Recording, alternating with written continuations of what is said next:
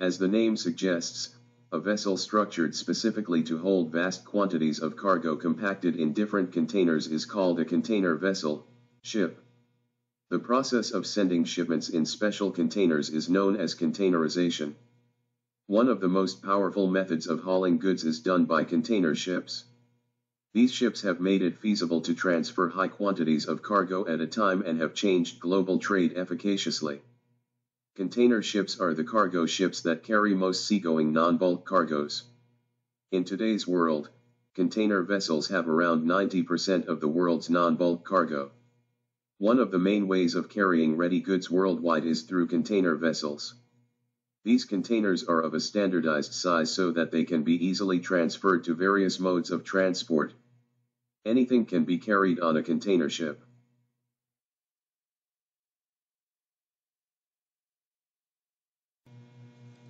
Over the years, technological advancement has made it possible for comparatively far more feasible methodologies.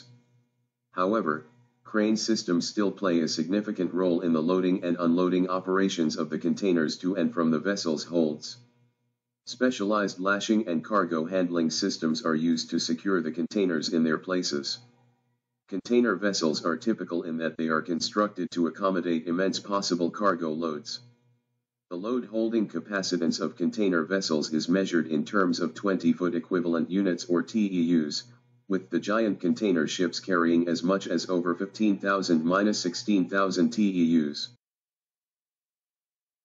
Many shipping lines are opting for slow steaming to cope up with rising bunker fuel prices and overcapacity.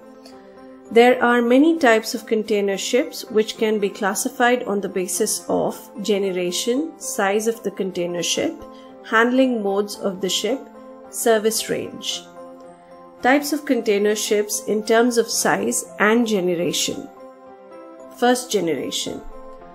As mentioned earlier, the first generation of container ship came into existence in 1955 when the world's first purpose-built container ship was launched.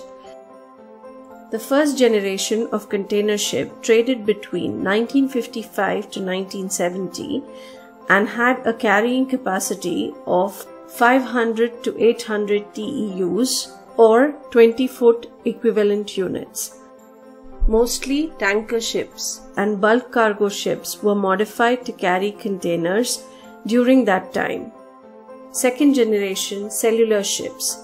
The second generation of the container ships came into picture during 1970 to 1980 when cellular container ships were made in shipyards to exclusively carry container cargo. The capacity of these ships was in between 1000 to 2500 TEU and the ship's length can go up to 215 meter. MV Kooringa was the world's first fully cellular purpose-built container ship. Third generation or Panamax ships. These ships were introduced during the 1980s as the growing economies rapidly pushed need of larger container ship to lower the operating costs per TEU. The Panamax ships were made keeping in mind that they can cross the Panama Canal with a capacity of 4,000 TEUs. This generation vessel dominated the container trade between 1980 to 1988. The length of these vessels was between 250 to 290 meters. Fourth generation or post-Panamax ships. The new size and capacity of vessels which were introduced in 1988 known as post-Panamax had 4500 TEU capacity and a width of 32.2 meters which was the width limit requirement of Panama Canal at that time. The length of these ships was between 275 to 305 meters APL C-10 container ship class ships were the first post-Panamax vessels. Fifth generation or post-Panamax Plus. In 1996, post-Panamax Plus vessel with a container capacity of 6,500 TEU was introduced, which were not long but wider to be more efficient.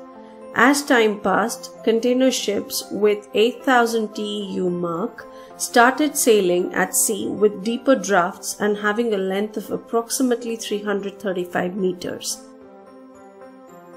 Sixth generation Suezmax ships or very large container ships.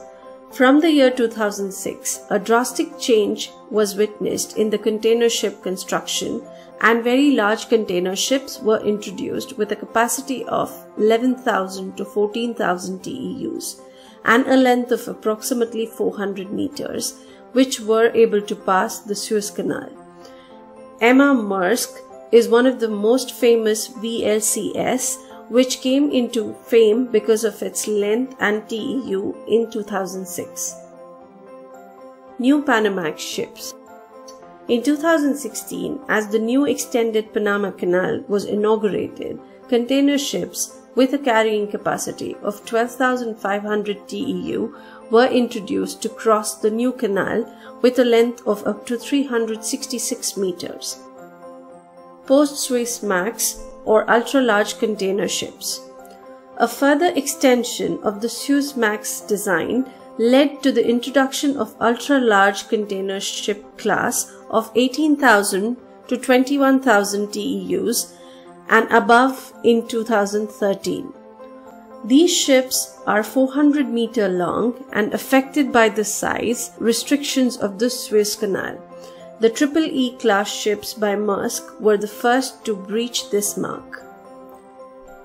Malacca Max these are ships designed which are not yet built but on paper. They can go up to the length of 500 meter, which will become the longest ship in the world with a capacity of 25,000 TEUs. Container ship types on the basis of cargo handling. Conro ships. Conro stands for Container Roll On Roll Off Vessels. These ships can carry a combination of containers and vehicle cargo.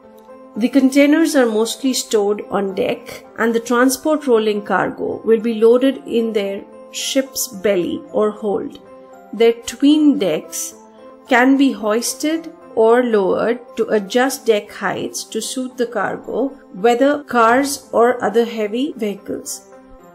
Lolo ships Lolo stands for lift on lift off ships, which are provided with cranes to lift the cargo for loading or unloading.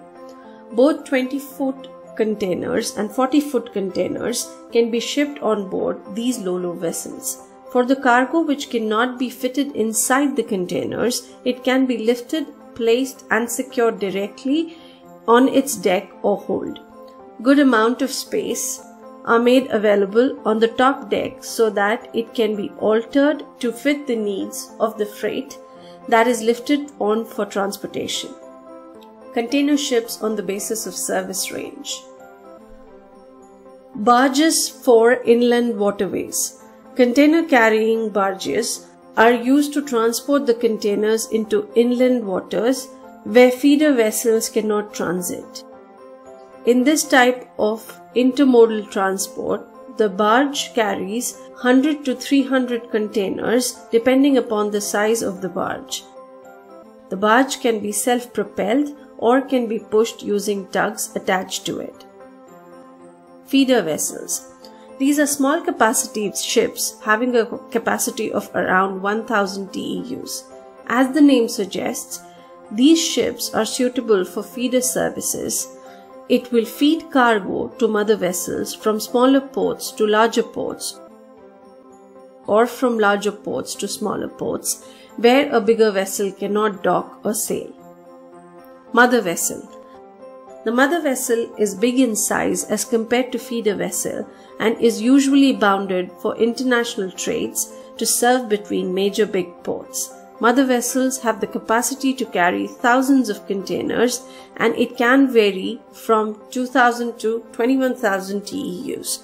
Mother vessel calls only main ports and covers large distance compared to feeder vessel. Container ships in the range of 5000 to 8000 TEU are considered to be the most flexible in terms of the ports they can access and the market they can service. since using larger ships require fewer port calls. However, a ULCS will provide better provision to carry a huge amount of cargo for the same distance, providing larger savings in fuel and operating costs. Therefore, the limits of economies to scale in container shipping are much more limited by commercial attributes than by technical constraints. If you have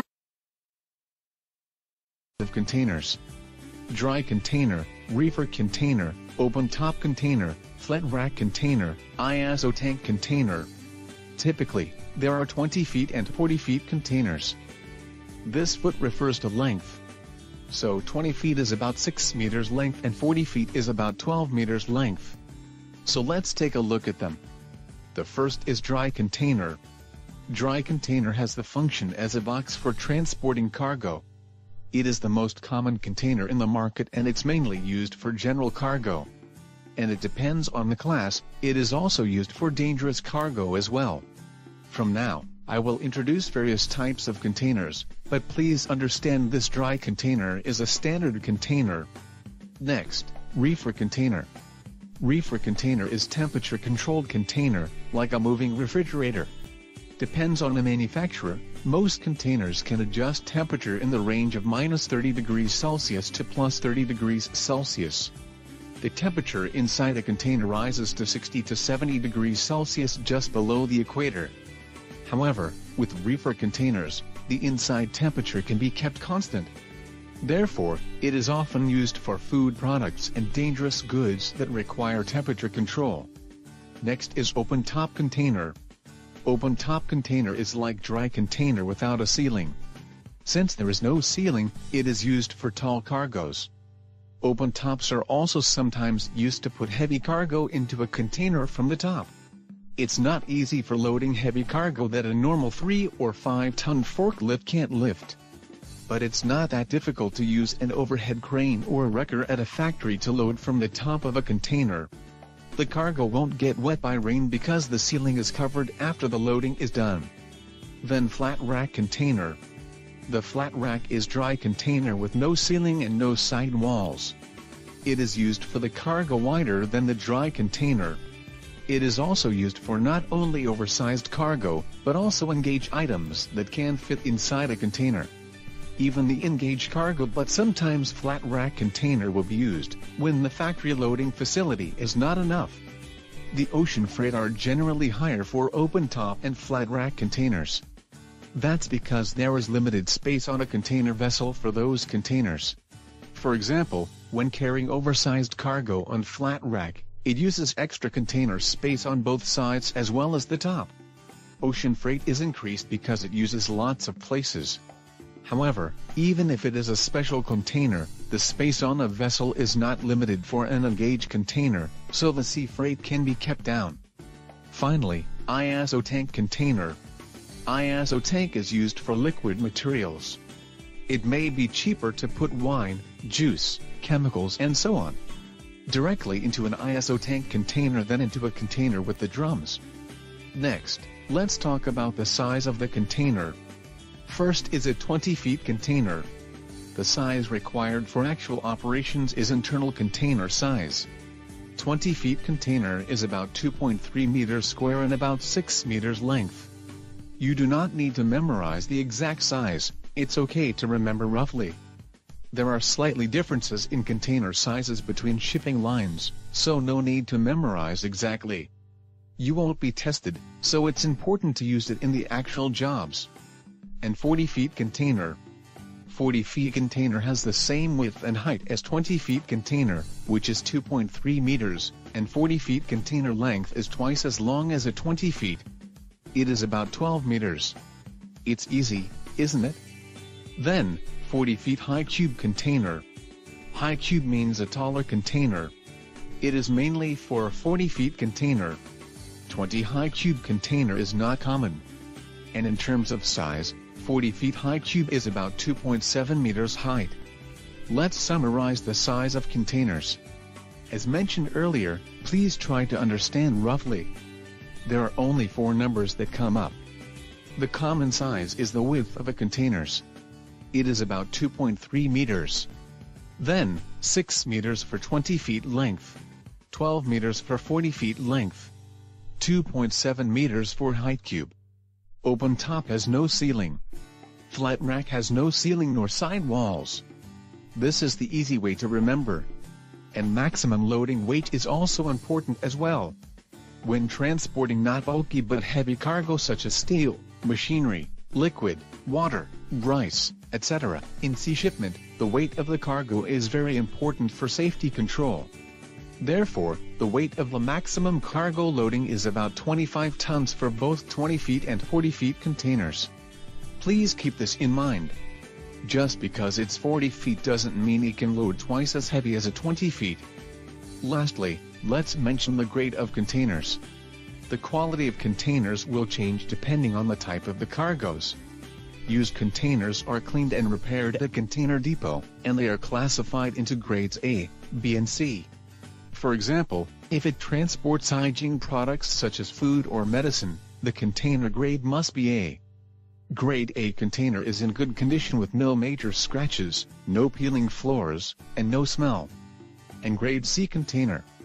If there is a hole in the ceiling of a container, it is not acceptable, but it is used on the assumption that it has damages to some extent. It is used for transporting the scrap material and steel. If you are involved in trade, you have to use different